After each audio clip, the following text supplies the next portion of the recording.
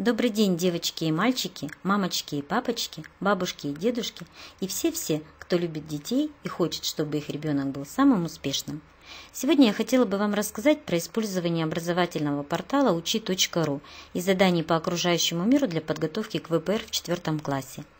Задания, которые есть в ВПР, рассчитаны на то, что ребенок узнавал что-то новое на протяжении всех четырех лет обучения в начальной школе. Это не только задания для четвертого класса, а задания, которые составлены по итогам всех лет. Мы знаем, что повторение – мать учения, и на портале учи.ру такие задания не будут тягостными и неинтересными, а игровыми и интерактивными, не отягощающим ребенка с той точки зрения, что у него и так очень много разных подготовок – Сейчас мы перейдем к заданиям, чтобы вы могли убедиться, что они не только совпадают с заданиями из ВПР, но и довольно увлекательные и интересные. ВПР по окружающему миру состоит из 10 вопросов. Сегодня мы рассмотрим первые пять.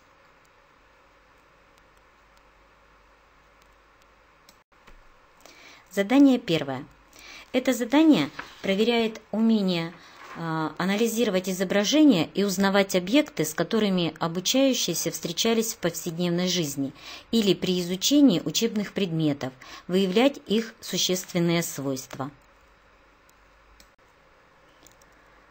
Вот примерная страница из ВПР. Первое задание. Рассмотри рисунок, на котором изображена стоянка туристов. Котелок изготовлен из металла. Он отмечен на рисунке стрелкой, соответствующей надписью – Покажи на рисунке стрелкой любой предмет из дерева и любой предмет из резины. Подпиши название соответствующего материала рядом с каждой стрелкой. После того, как вы зашли на портал учи.ру, ввели свой логин и пароль, я предлагаю вам выполнить следующий алгоритм. Зайти в программу «Окружающий мир», выбрать раздел «Природа», урок «Кладовые земли», рассмотреть, какие горные породы существуют, выполнить задания разные.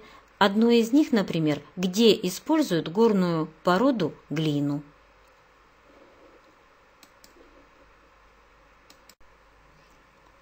Чтобы вспомнить, из чего что сделано, в программе второго класса окружающего мира – в разделе «Тела и вещества» можно вспомнить, из чего сделаны различные изделия, посмотреть, какие изделия можно выполнить из глины, как делают книги, из чего получаются шерстяные изделия.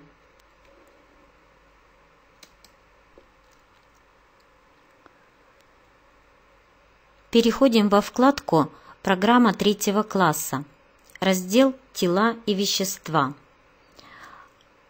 В этом разделе мы можем посмотреть, что такое тело, а что такое вещество, из каких частиц состоит вещество, из каких веществ состоят тела, и посмотреть интерактивно состояние веществ. На этом же уроке ребята могут сами сделать разные предметы. Для этого им нужно перетащить материалы на ленту – Например, для того, чтобы сделать табурет, требуется древесина. Задание второе. Основой этого задания является таблица с прогнозом погоды на три дня, содержащая часто употребляемые на информационных ресурсах и в СМИ условные обозначения. Это задание проверяет умение понимать информацию, представленную разными способами. Один из вариантов такого задания – на интернет-сайтах погоды можно встретить подобные таблицы. Изучи прогноз погоды на трое суток. Выбери все верные утверждения об ожидаемой погоде на эти трое суток и запиши в строку ответа их номера.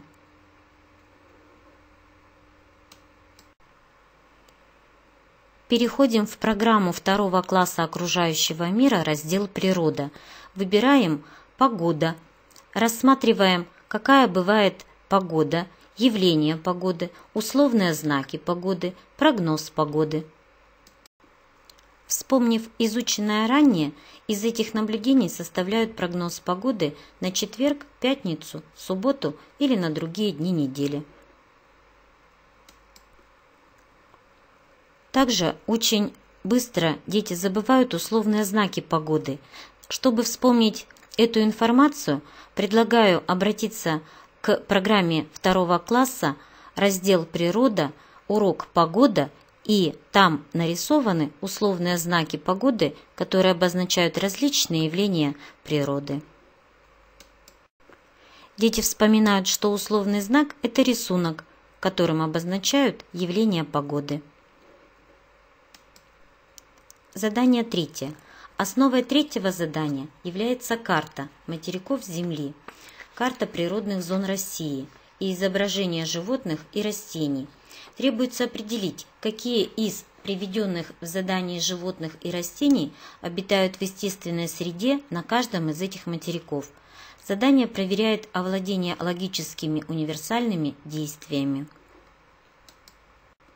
Вот один из вариантов такого задания. Рассмотри карту мира. На ней буквами А и Б отмечены два материка.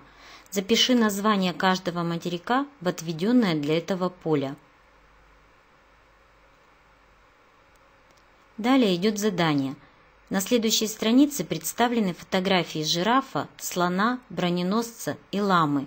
Нужно записать название каждого из этих животных рядом с номером фотографии, на котором оно изображено. И составить еще таблицу, какие из этих животных обитают в естественной среде на материке А, а какие на материке Б. И записать в таблицу номера фотографий с изображением этих животных.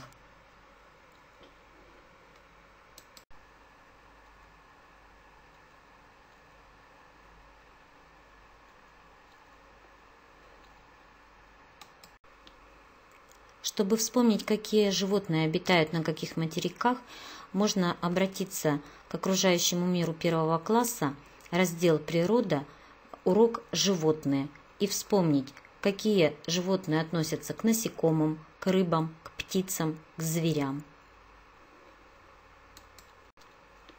Вспомнить основные особенности животных, признаки животных, какие животные относятся к домашним, как нужно охранять животных. В программе второго класса можно рассмотреть, какие бывают животные, животные нашего уголка, вспомнить информацию про кошек и собак.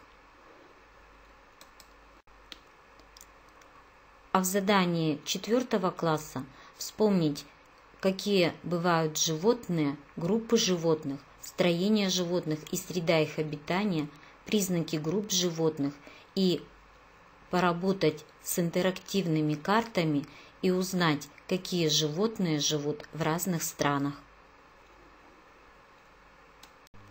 Также в программе 4 класса в разделе «Природа» есть раздел «География», где можно рассмотреть информацию про равнины и горы России, про моря и озера, про природные зоны. На этом же уроке ребята могут поиграть в интерактивную игру и узнать о природных зонах России. Задание четвертое. Задание направлено на проверку освоения элементарных норм здоровья-сберегающего поведения в природной и социальной среде. Вот один из вариантов такой работы. Составь два правила сохранения здоровья человека из приведенных частей фраз – для этого к каждой позиции первого столбика подбери соответствующую позицию из второго столбика и запиши в таблицу выбранные цифры под соответствующими буквами. Чтобы подготовиться к выполнению этого задания, выбираем предмет «Окружающий мир», второй класс, раздел «Про меня», урок «Если хочешь быть здоров», и выполняем задания о режиме дня, о правильном питании, о личной гигиене, уход за зубами и другие. Здесь же дети интерактивно узнают, откуда появляется еда и что помогает человеку быть здоровым. В программе третьего класса раздела «Человек» мы можем выбрать урок «Безопасность» и рассмотреть, чем опасна вода, огонь, газ. что нужно сделать для того, чтобы путь был счастливым, какие опасные места подстерегают нас вокруг, о природе и нашей безопасности. На этом уроке ребята познакомятся а, с безопасностью и окружающей нас природой. Они узнают, чем опасна гроза, как нужно вести себя во время грозы. Они узнают, какие опасные растения и опасные грибы, и поработают со справочником. В программе третьего класса раздела «Природа» ребята могут посмотреть про воздух и его охрану, про воду, про превращение и круговорот воды, о том, как нужно беречь воду.